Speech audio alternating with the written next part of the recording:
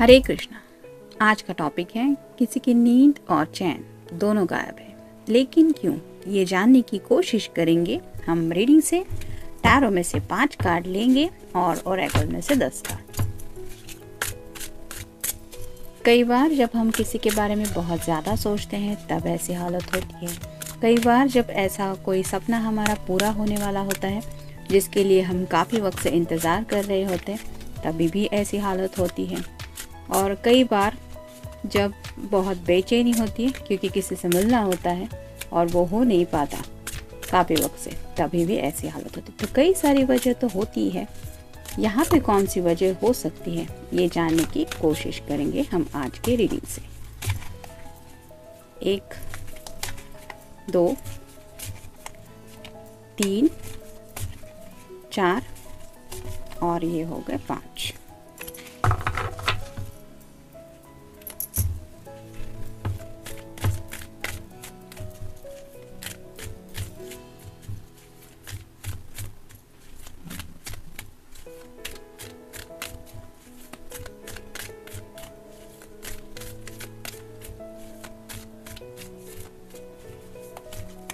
एक, दो, तीन, चार, पाँच, छ, सात, आठ, नौ और ये हो गए दस।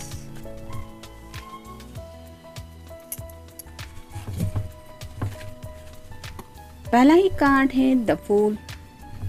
जैसे कि यहाँ पे ये एक लंबी सांस लेके कुछ फील कर रही है कि हवा का रुख कौन सी ओर जा रहा है। वैसे ही शायद किसी बात को लेके जैसे यहाँ पे भी कमल का फूल जैसा कुछ दिख रहा है तो ये पर्सन कुछ रिलैक्स होके सोच रहे हैं और जब भी हम दिल से ऐसे आँखें बंद करके किसी के बारे में सोचते हैं तो एक अलग ही दुनिया में खो जाते हैं। शायद ऐसी एनर्जी इस पर्सन को फील होती है। और द फूल का कार्ड यही बताता है कि ये ज़िंदगी में नई बिगनिंग शुरू करना चाहते हैं न्यू स्टार्ट लेना चाहते हैं, जिसकी वजह से इन्हें ये सुकून की सांस ये ले पाए। तो राइट नाउ शायद ये हो नहीं पा रहा, क्योंकि शायद आपके साथ इन्हें ये शुरुआत करनी है और मे भी आपसे ये बात हो नहीं पा रही कि उन्हें एक नया स्टार्ट लेना है आपके साथ। नेक्स्ट है page of swords air sign Gemini Libra या फिर आप देख सकते हैं, इसका ज़रा भी ध्यान यहाँ पे नहीं है कि ये रास्ता कितना नुकीला है। तो वैसे ही आपके पर्सन के भी माइंड में शायद काफ़ी सारी बातें चल रही है। यानी कि जैसे यहाँ पे एक वक्त पे ये पढ़ भी रही है, इसके हाथ में ये बल्ब्स भी है, ऊपर से ये चिड़िया उसको शायद तकलीफ़ देने के लिए आ रही है।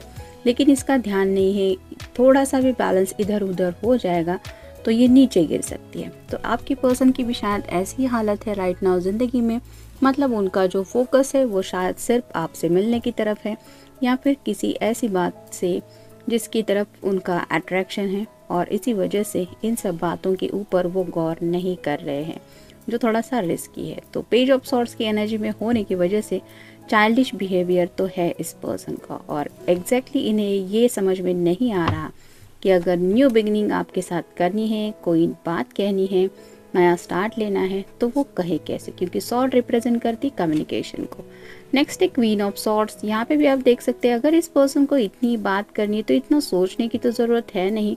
लेकिन यहाँ पे भी ये लेडी बैठ के आराम से आसमान की तरफ़ देख के कुछ सोच ही रही है।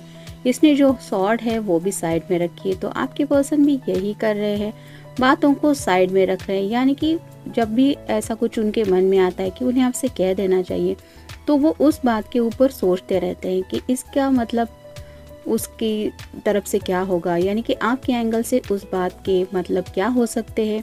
आपकी तरफ़ वो बात पहुंचेगी तो क्या हो सकता है? इस तरह की कई सारी बातें इनके दिमाग में आ जाती है, जिसकी वजह से बातें तो होती है इनके मन में, लेकिन ये अपने आप से ही बातें करने में बिज़ी रहते हैं, जिसकी वजह से इन्हें काफ़ी ज़्यादा डिस्ट्रैक्शन हो रहा है। और बात आपसे करनी है, लेकिन हो नहीं पा रही है, इसकी वजह भी ये खुद ही है। मतलब खुद से बात करना बंद करेंगे, तब जाके कहीं तो आपसे बात कर पाएँगे। नेक्स्ट है four of swords air sign Gemini Libra या फिर एक्वेरियस यहाँ पे भी आप देख सकते हैं, बहुत ही ये कॉम्पैक्ट जगह है। लेकिन ये पर्सन आराम से सो रही है क्योंकि उसको लगता है एक दिल का कनेक्शन है। उसके इर्द गिर्द वैसे ही आपके पर्सन आपके साथ एक दिल का रिश्ता तो महसूस करते ही है, जिसकी वजह से शायद ये रात को सोते वक्त भी आपको काफ़ी ज़्यादा मिस करते हैं। और दिल ही दिल में इनका कम्युनिकेशन तो आपसे होता ही रहता है।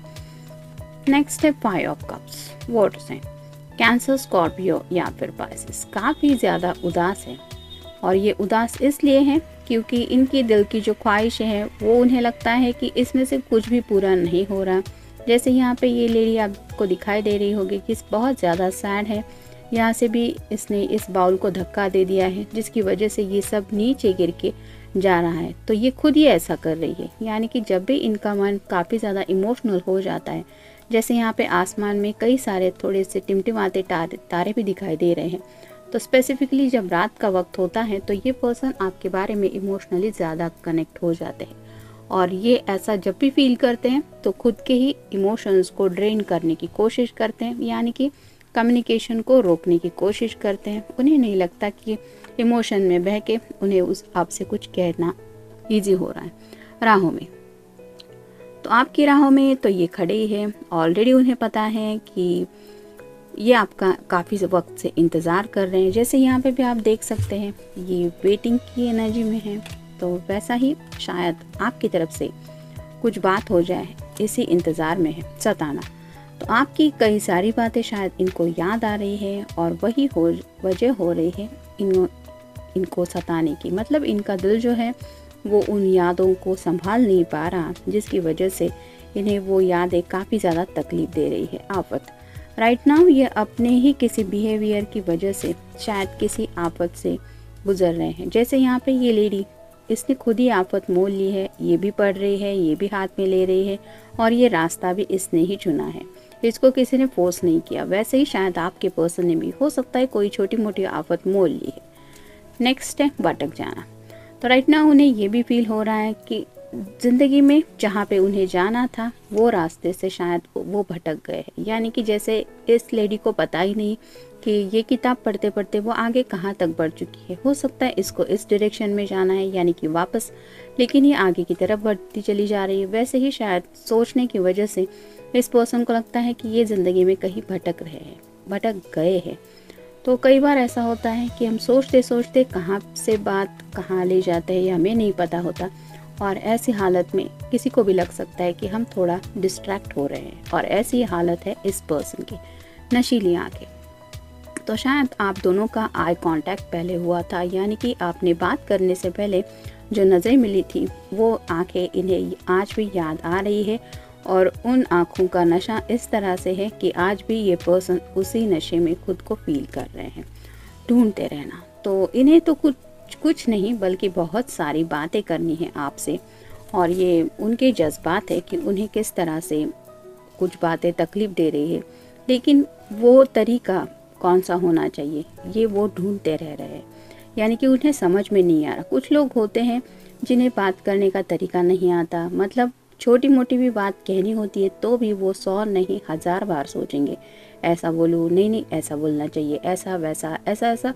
मतलब कई बार रिजल्ट्स तो वैसे होते भी नहीं है, लेकिन उनका नेचर ऐसा होता है कि खुद ही ऐसा सोचते रहते हैं। वैसे ही अपने ही सवालों के जवाब ढूंढते रह रहे हैं ये पर्सन बाहों में।